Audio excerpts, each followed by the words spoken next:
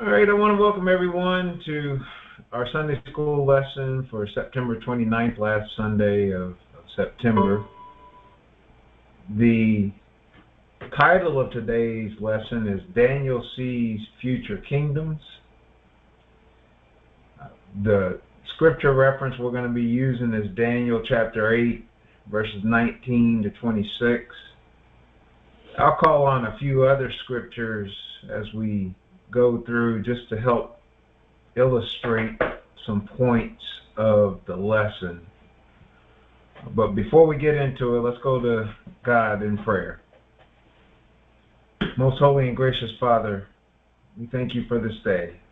We thank you for the service this morning to our to our littles, to our young, to our young adults, and how you use a pastor to even teach us who are older about the importance of devoting our life to you.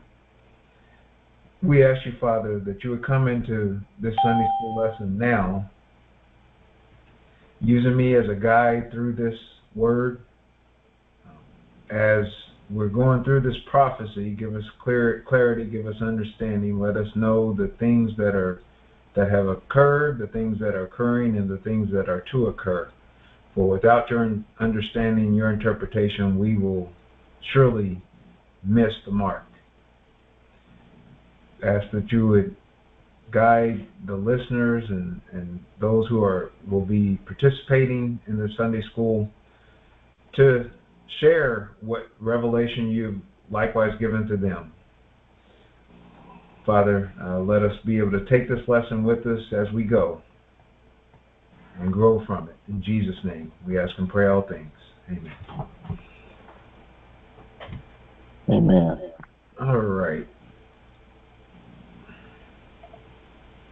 Okay, so starting with the text, the golden text and the aim. The golden text is Daniel 8:26, where it says, "In the vision of the evening and the morning, which was told, is true." Therefore, or or as King James version says, wherefore, shut up thou shut thou up the vision, for it shall be for many days. We'll we'll talk on that as as we get to that portion of the text, which is our which will be our last scripture. The facts are to review details of Daniel's vision that teach us about the Antichrist figure of the last days. I'm actually, I, will touch on that um, as we went through the book. Well, those of us who, ha- who have the Sunday school book, you'll notice that they, they touch on it, they talk on it, but there's no, like, there wasn't a lot of elaboration on it. And, and likewise, as I go through the lesson, I won't have a ton of elaboration on, on that, but I do want to point out some, some parts of it where we'll, we'll see through a, a, historical figure some elements of of what we can expect whenever this antichrist is revealed.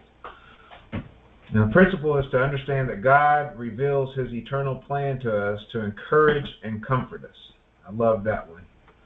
And the application is to pay attention to the truths God reveals to us in Scripture to find confidence in God's activity in history through prophecies that have already been fulfilled. And we'll touch on that quite a bit. Now, before we get into the lesson, there's a few keys to prophecy or, or even understanding prophecy. Um, there's a lot of prophecy in, in the Bible, obviously, and some of the prophecies are symbolic, as this one will be, uh, and some are literal. That means, you, you know, literal, obviously, you can look at it, you can read it, and literally what it says will happen, will happen. And just one example that I have of that, just so you know we can we can all be clear and on the same page. First Kings chapter 13 verse 2 talks about a prophet that cries against the altar uh, stating that a king or Josiah would come. I'll read that real quick. It says, And he cried against the altar, he, he being the prophet. Doesn't say which prophet, just says a certain prophet. And he cried against the altar in the word of the Lord, and said, O altar, altar, thus saith the Lord, Behold, a child shall be born unto the house of David, Josiah by name, and upon thee shall he offer the priests of the high places that burn incense upon thee, and men's bones shall be burnt upon thee. That's First Kings chapter 13, verse 2. I didn't look up when that was written.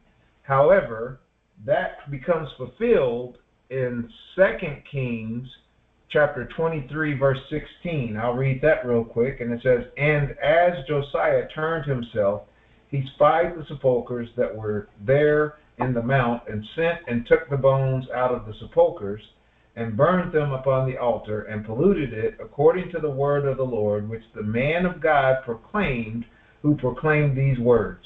Now, what I did look up, I didn't look up the exact dates, but I did look up that first prophecy in 1 Kings 13:2 was spoken three approximately 300 years later.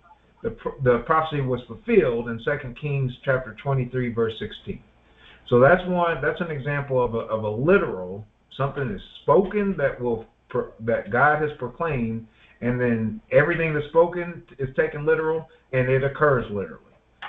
Um, so that's just one, and then we'll we'll talk about the about the symbolic here in in a bit.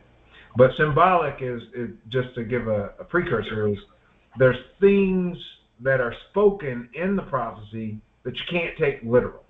You you can't uh, like like I'll just give a, a quick one now. Talks about a ram coming and and doing all this damage. Well, it wasn't a literal lamb; it was symbolic, and we'll get into that. Then another key to prophecy is a single fulfillment or a dual fulfillment. Single fulfillment is is pretty straightforward. That's like the prophecy of Josiah that I just read. It's talking about a, a man shall come named Josiah. He shall do this and that and a man named Josiah came and he did this, this and that. That prophecy was fulfilled. End of story. No need, no need to further di- dissect that prophecy. It's been fulfilled. Dual fulfillment is either, and, and you may hear other terms, um, but I just I like the I like the idea of single versus dual. Um, obviously, single is one, dual is two. Obviously, um, but you might hear other terms, and I, I forget what the there's another term that that talks about dual fulfillment prophecies. But there's a short-term fulfillment or near-term fulfillment, and then there's a long-term fulfillment. Um, one example of that, and I won't read it just for the sake of time, is in Second Samuel chapter 7, verse 11 through 13. You can go read that if, if you desire. But this is a uh, Samuel is prophesying regarding David's successor who will build a house for God. Now, in the short term, we know that Solomon built that, that a house for God. But there's another part to it where he talks about through this offspring or, or through this person, the successor that shall come, he will make a his throne to be established forever. Well, Solomon's throne is done. It no longer exists. So that was talking about Jesus. So you see there's a short-term fulfillment of prophecy in Solomon, but you see the longer-term fulfillment is really that uh, of Jesus. So in some some some prophecies they'll have they'll have this concept of a dual fulfillment where something will be done you know kind of immediately taking part taking care of parts of it. But then there's other parts that is a longer term fulfillment uh, whether it's of end times or whether it's sometime later talking about Jesus or, or who, who whatever the case may be. This particular prophecy that we'll be reading is both symbolic and it has elements of single and dual fulfillment. And we'll get into it. so uh, I think hopefully that's enough of an introduction um, and some keys to prophecy. Let's go ahead and get into the lesson. And the book is called Future Kings, uh, and the chap- chapter we'll be reading is Daniel chapter 8. verses 19 to 22 will be the, the first verses we read. Would someone be so kind to read those four verses for me? Hey, Damien, I can read it. Perfect. Thank you. Okay, so I'm I'll be reading from the uh, Sunday school book here, and uh, verse 19 reads, "And he said, Behold, I will make thee know what shall be in the last end of the indignation, for at the time appointed the end shall be." Verse 20, "The ram which thou sawest having two horns are the kings of Media and Persia." And then verse 21 and the rough goat is the king of Grecia, and the great horn that is between his eyes is the first king. And then the last verse, verse 22 now that being broken, whereas four stood up for it, four kingdoms shall stand up out of the nation, but not in his power. Thank you. All right, so let's let's get into this. Um, verse 19, as it's written, it says, And he said, Behold, and, and then, you know, the rest of, of, what it says. The he in that is, is Gabriel. Gabriel, the angel Gabriel, he appears multiple times throughout the, or at least a couple times throughout the Bible. Obviously, he came uh, a bit later and, and spoke with uh, Mary, the the Virgin Mary, mother of Jesus, right? But he was sent to show Daniel this interpretation. So so the he in that in that verse, that's all we know is Gabriel. Now, this prophecy was written approximately 550 BC. According to our book, it says 551 about 551 BC. We'll just say approximately 550 BC is when this occurs. Now that's a bit important because we need we need evidence to to know that what we read is true. Now we believe it as Christians, but for those that might be younger in the faith, you know, you, these God gives these historical references and showing, hey, this was written, you know, 150 years before, 200 years before, 300 years before, and then it carries out exactly as is written. It's important to know that so that you can have faith in the things that have not occurred yet that they are going to come to pass. Now, so the prophecy is written in approximately 550 BC, and but it it starts at approximately 539 BC. 539 BC is when Babylon was conquered by Cyrus. That's when the Medes and the Persians uh, the Medes and the Persians took over. So even just from the start, the very first thing that, that Daniel saw about this ram that he saw and, and it being the kings of Media, Media and Persia, that was at least 11 years from the time when he started writing the prophecy. So, and this is where we start to see that symbolism. And thank God that He gave us an interpretation because if He didn't, who knows? We might still be trying to guess what is He talking about about those two horns that Daniel saw. What is this? What's going on? But God gave us gave us the interpretation through the acts of, of Gabriel. So now that we understand. Now, the ram is obviously symbolic. It's thought. Uh, now, the reason why God may have used this as I was studying through the in Medo-Persia, they thought the ram to be a bit of a spirit animal, and uh, from what I read through various encyclopedias and sources, when as they headed out into battle, they would wear a ram's head into battle. So perhaps that's why God referenced them as a as a ram. Uh, now it it doesn't talk. Well, it does actually. It does. I'm sorry. It does talk about how the rams had two horns. The two horns represent the two different kings at, at that time of, of Media and Persia. Um, but if you go back up to Daniel 8 and 3, we're not going to do it for the sake of time, but it talks about how one horn was higher than the other horn. Uh, the reason for that was because between Media and Persia, Persia was the actually the stronger empire, and it's the one that actually became more uh, in, uh, influential during that period of time. Now, as you go to verse 21, talks about now there's this goat that pops onto the scene. And again, it's symbolic. It's not an actual goat. It represents the king of Grecia. Now, as I was reading about this, perhaps one of the the reasons why God referenced it as a goat, or Daniel had this vision of the goat that God obviously gave to him, was because a goat was a key part of Greek mythology. Uh, it was one in one element. It was taught about. It was thought that the foster mother of Zeus, one of the gods that they worshipped, was a goat. Uh, that that mother that mothered Zeus. Um, they also use satire, satyrs, S-A-T-Y-R-S. I hope I'm pronouncing that right. Satyrs, which was essentially a form of a goat man, half goat, half man. And they thought these were nature spirits.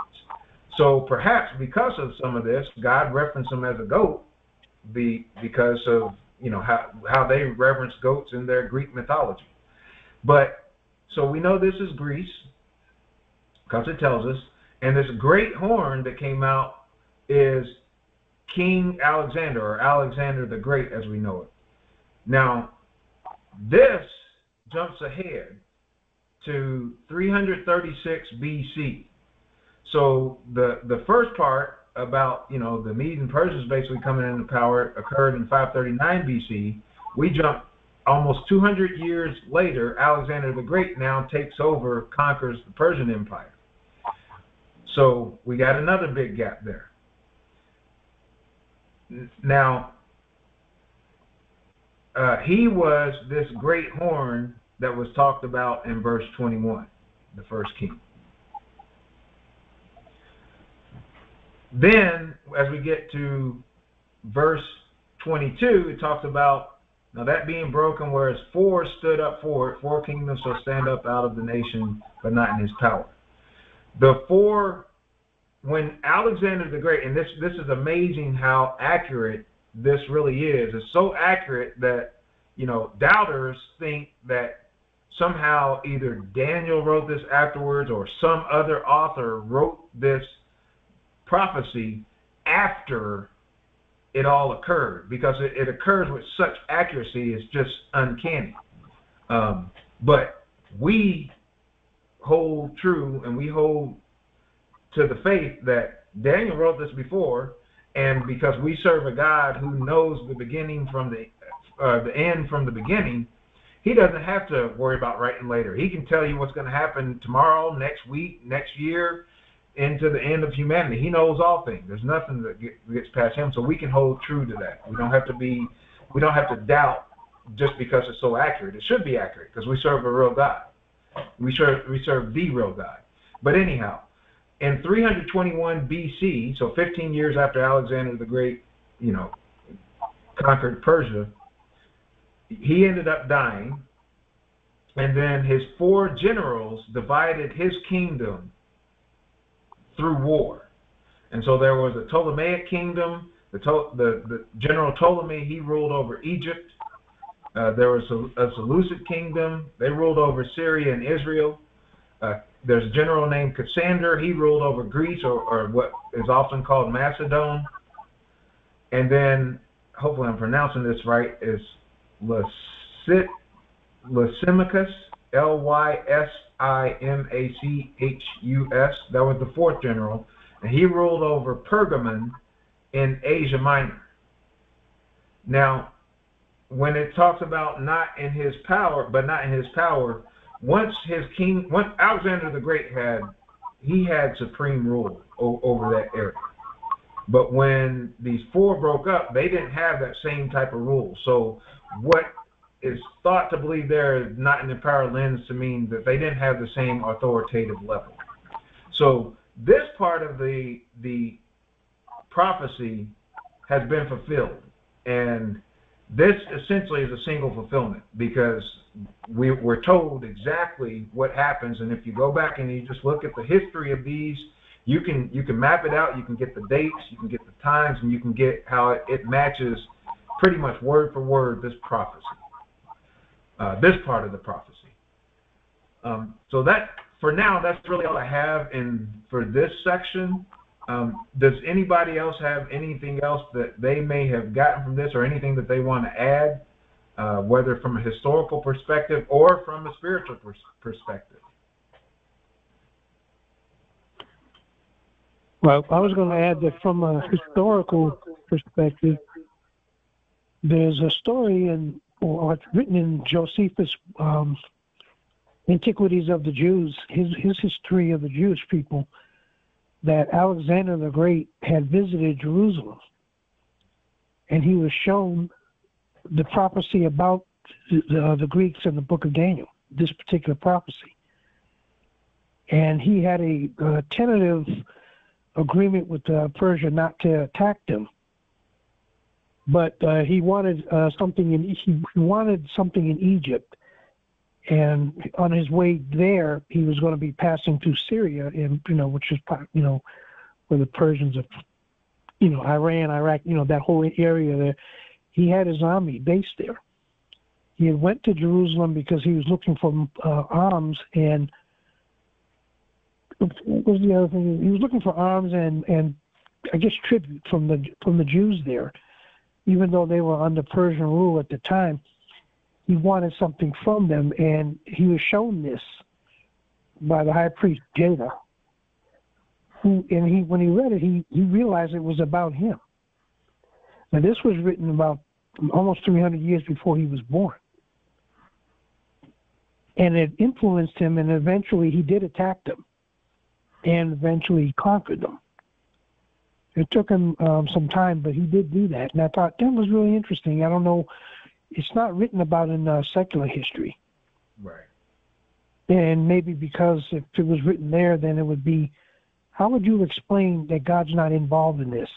Right. Where a prophecy that was written 300 years before this particular person was born influenced his decision to attack a nation and succeed. Yeah. So you know that you know I was reading you know I was reading the, the lesson that it, you know I, I was looking for other because you know I was I'm always curious and so I found that and I thought "Ooh, this is really interesting. It just shows you know the power of God and you know some people would rather you know not be accountable so they'll overlook it. That it's more likely to be true than not true. Amen. Amen. No, that's that's uh, and then I, I tend to believe I know Jos- I don't know a lot a ton about Josephus, but I do know he's you know considered to be a, a very accurate historian and and used as reference you know to just I guess I'd say justify many many things that happened to the Jews, particularly things that happen according to Scripture. So uh, I I believe it. Um, you know, the other thing, and I didn't write it down, but uh, there's, I know the Maccabees have, have some form of, of history book or, or, or writings that that detail some of the things that went on during this this time as, as well. Um, and Oh, yeah. I saw some references to it. I didn't write them down, but you know that's another source that you know if if you so choose. And I'm not just talking to to, to Deacon Harry. I'm talking to who, whomever will. Uh, if you so choose, I know you can go and look at some of their writings and, and see that, you know, pertaining to this prophecy in particular, there's some very good detail in there that, that really exemplifies, yeah, God's in control and, and all this all this occurred to the T. Oh, oh yeah, the Book of Maccabees is in the Catholic Bible. Yeah. I grew up with it. Yep. Yep. Okay. Good. Thank you. All right. We'll continue to go to to progress along. Um, we'll go to where it talks about fearsome king, Daniel chapter eight, verses twenty-three to twenty-four. Is there someone so kind to read these two verses for me? Yeah, I'll, I'll go ahead. uh, 23 and 24. I'm in the ESV. Okay. Uh, verse 23 In the latter part of their reign, when rebels have become completely wicked, a fierce looking king, a master of intrigue, will arise. He will become very strong, but not by his own power. He will cause astounding devastation and will succeed in whatever he does. He will destroy those who are mighty, the holy people. Thank you. Okay, so this part of the prophecy is another big jump. Now remember, this was start this was written approximately 550 BC. We jump to, you know, just shortly thereafter, around 539 BC, we jump to approximately 336 BC. Now we're making another jump to approximately 175 BC. So we have a gap of approximately 150 years between two verses. And this king of fierce countenance is understood to believe Antiochus Epiphanes or Antiochus IV. Now, there's a lot I could have written down about him. I'll, I'll just bring out some things, and uh, you know, it it is very interesting how uh, afflicting he was, uh, or, or how much persecution he made to the Jewish people. But he gained the throne by murdering his brother and having his brother's son held hostage in Rome. Now he was he was definitely a very evil man. Again, I'll bring out some some de- details or some some points of it, and some some others may have some other details or some other that they may want to add on about him. But one thing that his his he was actually Antiochus the fourth. So he was like the fourth line of, of Antiochus to become king. And he changed his name to Epiphanes, which means glorious or illustrious one. Essentially, he was trying to tie himself to, to God. He was trying to tie himself to deity. Now, he was so, he persecuted the Jews so much, the Jews took his name, Epiphanes, and they actually referred to him, to him as Epimanes. Uh, hopefully, I'm pronouncing that right. So you can, well, if you can see my screen, you can see Epiphanes, but it's spelled E P I P H A N E S, and they called him close to it E P I M A N E S, Epimanes instead of Epiphanes, or uh, and that meant madman. He came into power, uh, or well, I should say he came into power. He he as part of his way to solidify his kingdom was through flattery and through bribes uh, to to not only other nations but also to religious organizations, and, and we'll talk about that in just a bit. But when it talks about in verse 24 he shall stand, but not by his power. I mean, this guy was was definitely empowered by Satan. Uh, he was, or he he was guided by Satan. Now, I'm not saying Satan has all power because he was permitted by God. Satan can't do anything without God allowing it.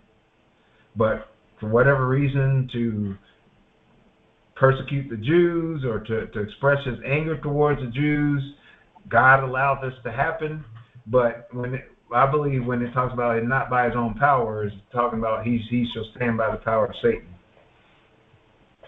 Um, he had a goal to expand his idolatrous worship. Uh, he imported his own priests in place of the priests of God, uh, whom he bribed those priests to even, you know, set up, help help establish uh, his Hellenization, which which we'll get into on the, on the next slide.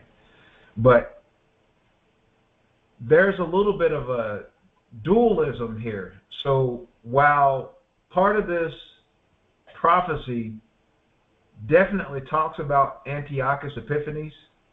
There's a bit of a dualism here in, in Antichrist. So so remember what I said about dualism or, or the, uh, this duality of prophecy.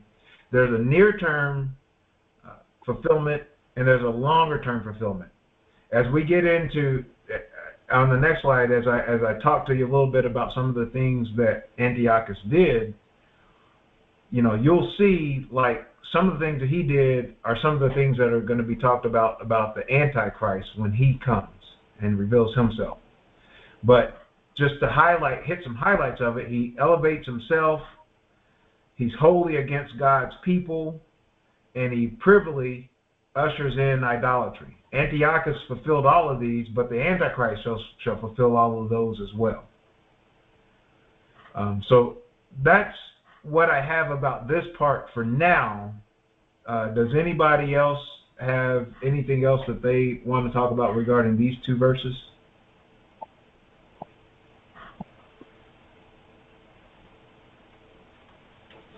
Okay. All right, we will go forward into uh, the final king, which which is Daniel chapter eight, verse twenty-five to twenty-six, and uh, I'll, I'll go ahead and read these. That's fine. And I could read it for you, Dan. Oh, okay, okay, that's fine. Go ahead, Lois. Okay. Okay, verse twenty-five. And through his policy also he shall cause craft to prosper in his hand and he shall magnify himself in his heart, and by peace shall destroy many. He shall also stand up against the prince of princes, but he shall be broken without hand. And the vision of the evening and the morning which was told is true. Wherefore, shut thou up the vision, for it shall be for many days.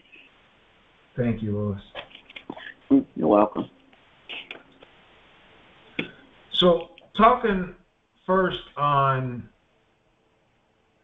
Antiochus, his his objective was to Hellenize the kingdom. Hellenize just means that he he wanted all of the of the Greek influence to be throughout all the kingdom.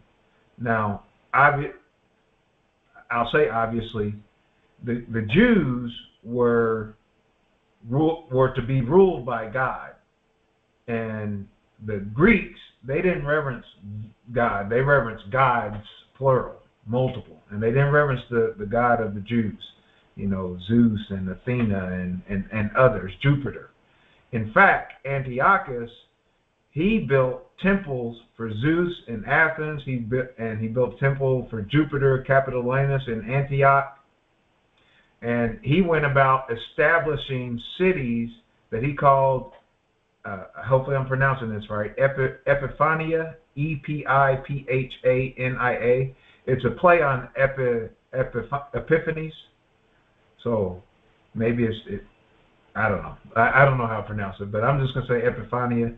Um, but these were cities uh, that he, he set up in di- various different places, and he allowed them, he, he had them to promote the, the Greek worship system and he also allowed them to mint their own currency. Now, from a religious perspective, that's not a huge deal, but from how you you can help you know get the trust of people you basically let them kind of set up their their own community underneath your rulership that as long as they're serving these ways you'll give them some sense of freedom so he's using you know, almost some some bribery, some some sense of peace, and and that kind of thing to to spread this Hellenizing of the kingdom. Well, this uh, uh, caused some challenges with the Jews because I, I, don't think the minting of the currency and that kind of thing caused problem, but obviously the other parts of, of what he tried to take away the worship uh, of God. Um, there's talk of him going into the temple and defiling it by sacrificing a pig upon the altar. So all of these things were, were very problematic to the Jews. And as this Hellenizing was going on, there were two sects of Jews that that that uh, surfaced. There was the Reformed Jews, which they called the Hasideans, H A S I D E A N S, Hasideans, which means pious ones. And then there were other Jews who were, you know, they're supposed to be Jews representing God, but they they supported these Hellenizing efforts. Now, that as I was reading this and, and understanding it, I'm like, man, that that's a lot like today, where we we have Christianity, and you have to make a decision on are you going to follow what the Word of God says? And you know, Pastor gave an example today. There's only two uh, sexes in in the world. There's male and female. You can't go and be a male and then decide you you're going to be a female. That that doesn't work. Um, so are you going to stick with that? Or are you going to follow what the government says and or, or what society says as far as yeah, you can decide what you want to be. And so that was a little bit what was going on back back then. Now, at first he gave the Jews freedom to worship their God, but then he came and, and took took that all away because they weren't supporting his efforts. He ended up replacing the priests uh, with his own forms of priests who would go and they would do all kinds of ungodly sacrifices in, in the temple and they served they brought in, you know, idolatry worship and all kinds of different things. So, you know, and verse 25 talks about, and through his policy also he shall cause craft to prosper in his hand. He shall magnify himself in his heart, and by peace shall destroy many. Um, you know, the it, some sense of that was fulfilled by Antiochus and all these things that he did. But we see that there's this dualism is actually continued because while he did a lot of these things, it's talked about of the Antichrist who will come and do a lot of these same types of things. He'll come, he'll perform great works. He'll come starting in peace. You can read this, I believe, in Daniel chap- chapter 9, and, and I may read one of the verses um, here for us. But He'll come in peace, but then he'll break that peace. Uh, he'll bring in idolatrous worship. He'll stand, but not in his own power. So, so let's look at some of these some of these dualisms. Um, talks about the abomination of desolation in, in Daniel chapter nine, verse twenty-seven. And this is anyone who's, who's read through Daniel, you know this is talks of, talks about the seventy weeks during that uh, when when uh, Jeremiah spoke about it, but Daniel was given the understanding of it. And in 927 says, And he shall confirm the covenant with many for one week, and in the midst of the week he shall cause the sacrifice and the oblation to cease, and for the overspreading of abominations he shall make it desolate, even until the consummation and that determined shall be poured upon the desolate. Now, you know, you can look at this and you can say, well, this was fulfilled in in Antiochus because he came in, in, in peacefully and he ended up defiling and, and caused the temple sacrificing to stop. But but Jesus also referenced this in Matthew chapter 24 verse 15 where he says when you therefore shall see the abomination of desolation spoken of by Daniel the prophet stand in the holy place. And then he, he goes on. I'm not going to keep reading. You can you can read that uh, on your own as you as you have time as you desire. But now we know clearly Matthew was written after Daniel. Clearly, uh, we know Jesus clearly came after Daniel. So, and we know that Matthew and Jesus came after Antiochus Epiphanes. So if Antiochus Epiphanes fulfilled that, then why would Jesus bring it up saying, "Hey, when you shall see"? Well, wait a minute. If he, if I shall see, then it couldn't have been something that already occurred. So, so that's where we say, you know, there's a, there's a bit of this dualism. Yes, in a, in a sense, Antiochus fulfilled part of this, but there's another part where that has not yet been fulfilled says he'll magnify himself. and we can read. You can read in Second Thessalonians two and thirty four.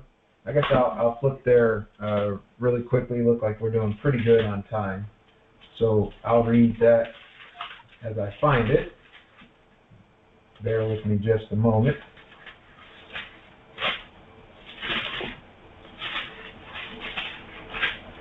Okay, Second Thessalonians chapter two, verse three and four says, "Let no man deceive you by any means, for that day shall not come except there come a falling away first, and that man of sin be revealed, the son of perdition, who opposeth and exalteth himself above all that is called God or that is worshipped, so that he, as God, sits in the temple of God, showing himself that he is God."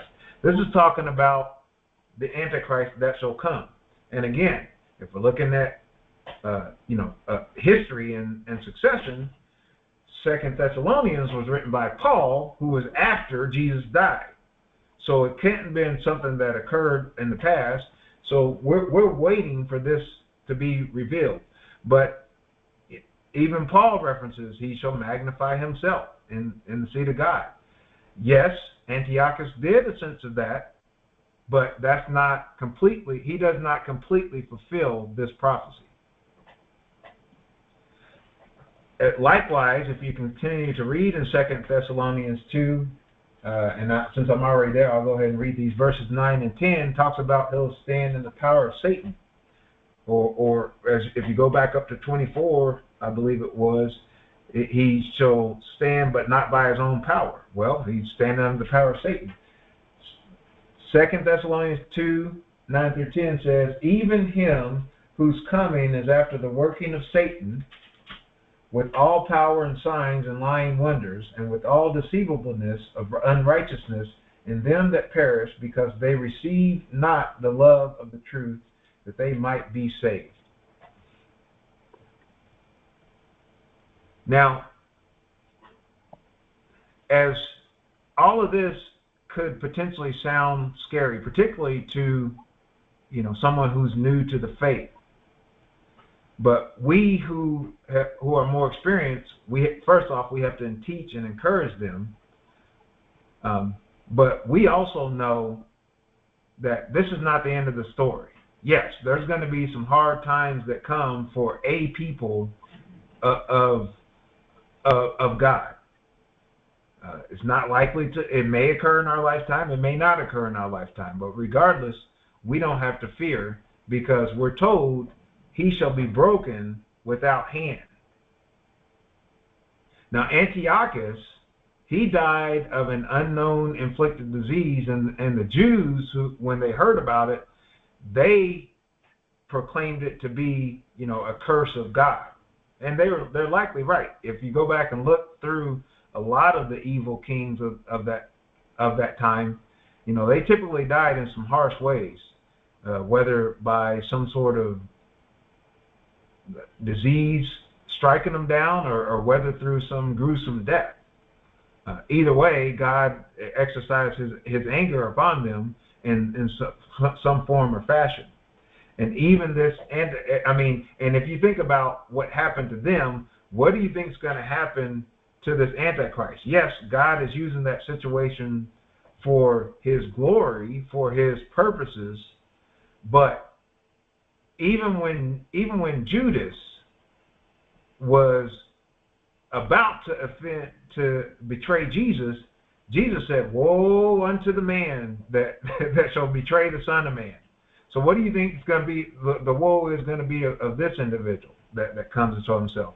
But we're told in, in Revelation 19, 11 through 21, again, that's a lot of scripture, so we're not going to read that. But Jesus destroys the Antichrist and the beast, casts them into the lake of fire.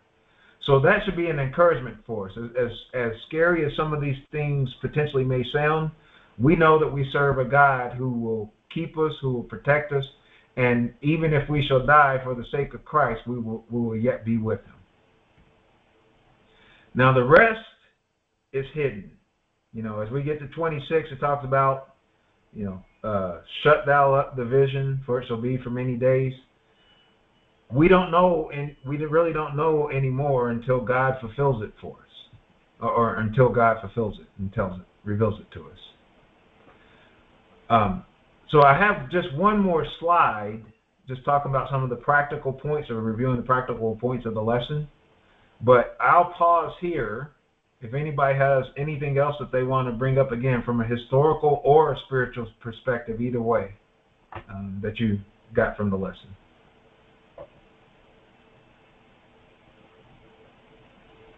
Brother Daniel? Yes. I just want to say, in reading this lesson, you know, in the beginning it was kind of confusing, you know, to figure out what was going on. But overall, once I got over to this, uh, the overall gist of it that sunk in with me was, you know, over in that section where they talk about uh, the practical points of our lesson and then the uh, illumination. I'd like to reference number two and number four in that practical points. Number two says, Kingdoms rise and fall, not of their own accord, but subject to God's purposes. And then the number four said, Evil is given a time to strut, but it will be destroyed in due course. And it just sort of reinforces, you know this in your mind, but sometimes with your day to day activities, you kind of put it uh, out of your mind. That everything that's going on, God already knows is mm-hmm. happening. He knows what the outcome will be, and if we could just get ourselves so that we accepted that and know, being a child of God, He's always looking out for our good. Then we can begin to have uh, that peace that Pastor was talking about when he was referencing uh, Philippians this morning. And it's, it's a hard thing to do when you're going through a lot, but it still comes down to the fact that in in due time, God's plan is going to come about, and His mm-hmm. plan is always good. So, and it kind of goes along with what we see happening now in our world that we're in. It's a lot of confusion to us, but it's not confusion to God because He already knows what the outcome is going to be. Amen. Amen. That was very well stated, Lois. And and you're right. It it is. Uh, there is a lot of confusion going on, um, but I can't remember where it's where it's written. I believe Jesus said it, um, but I, I don't remember where. He talked about you know he was revealing a lot of things that would happen in in the end days and after he he left, and he says, you know I've told these I've told you these things. Uh, a bit. So I'm paraphrasing. He told us these things so we would have some comfort, so that they we would know that they come to pass, that they came to pass before he even said it. Um, and even this is not should be encouraging for us. I, I love the two points, and, and I've, I've gone ahead and shown the, the five points on my slide for whomever can see it. I'll, I'll read them off when, as we get to it. But um, you know, even this should be a bit encouraging because mm-hmm. think think about it. If all this stuff was going on and Jesus just came like, "Hey, I came to to give you life more abundantly and you know, I came to die for your sins," and then he just died and didn't tell us anything. I mean, I, I'm you know, that we we don't have this situation, but I just want you to think about that for a moment. Imagine he didn't tell us anything that was going to happen afterwards. And then we have all this craziness. We'd be like, okay, I, I, I believe Jesus died for me, but what in the world is going on? But he's like, I told you, so you're not surprised, and and so you right. you know what's to come, and and that if these things come, and my word, and you know my word is true, then you know that. Mm-hmm. When you die, when when you leave this earth, you know, believing in me, you know you're going to have eternal life with me. So, mm-hmm. I, I love yeah, what you exactly. Any anybody else? I, I haven't gone into to the reading all the practical points yet. I'll I'll review the two that that Lois said, and I'll read the other three. But anybody else have anything else from the from the lesson?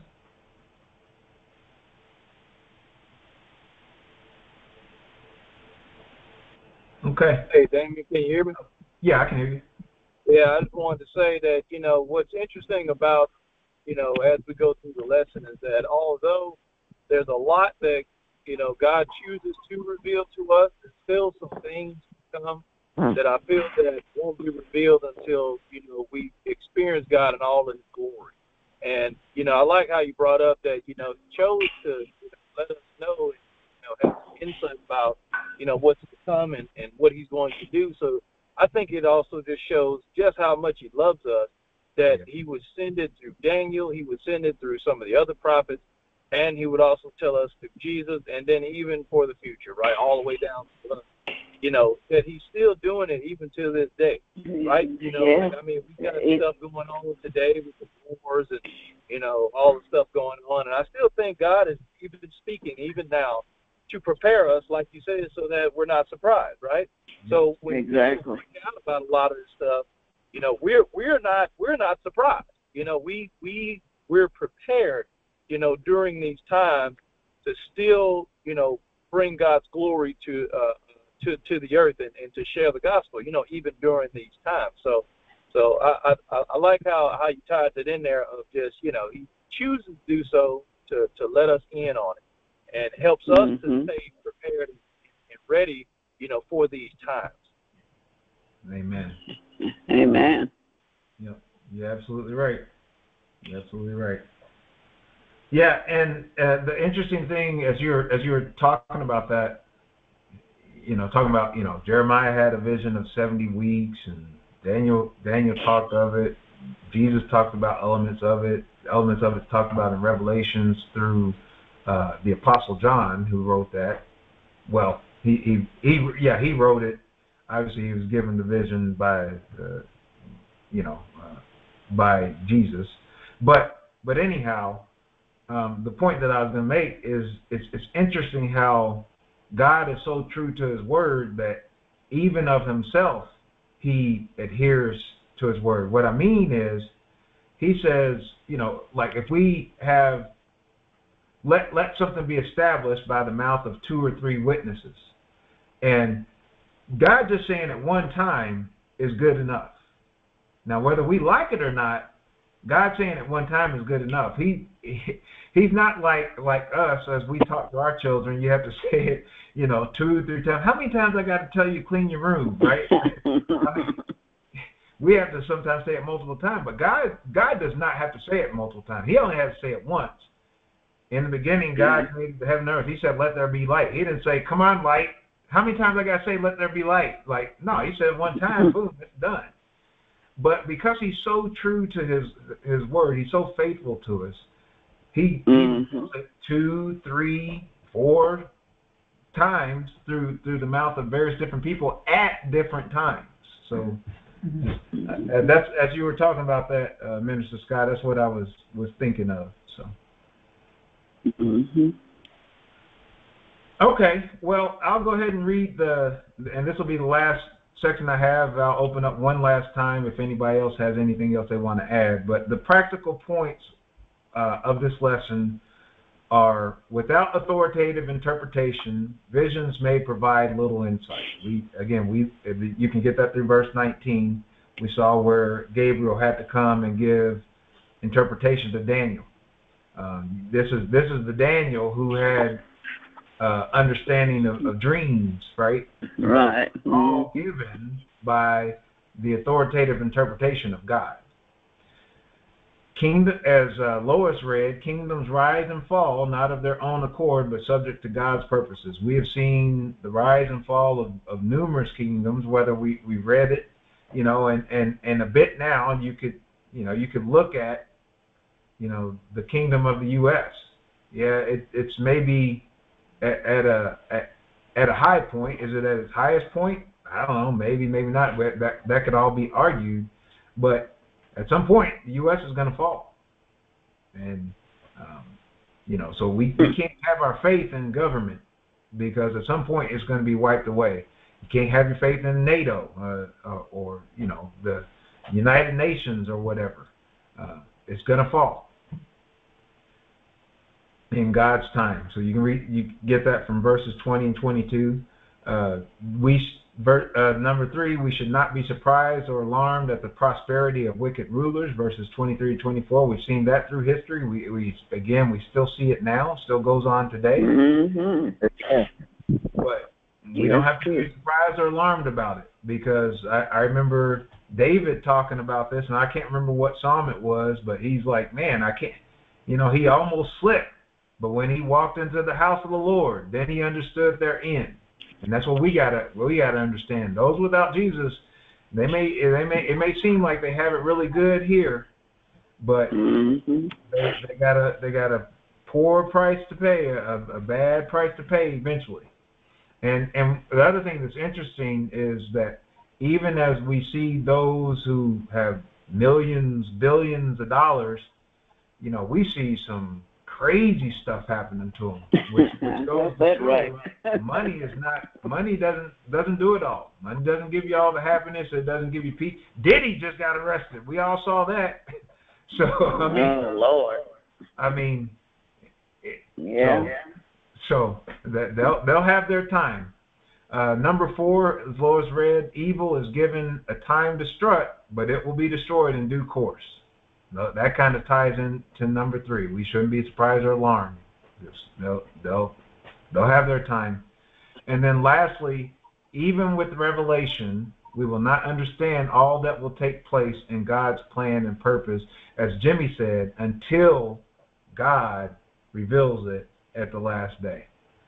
hmm So that concludes the lesson that I had. I'll open up one last time. Any, and we're right at 11:30. So any other final comments?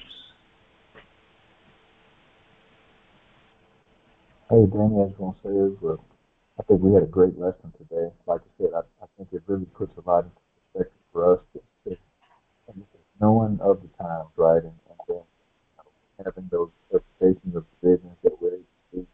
I think it really brings back to, like I said, us us being prepared and knowing, you know, where we are at these times and pulling us closer together too. I- some, uh, it brings us a little bit closer together so that you know we know what's happening. We ourselves, as a family, as children of God, can, even come more together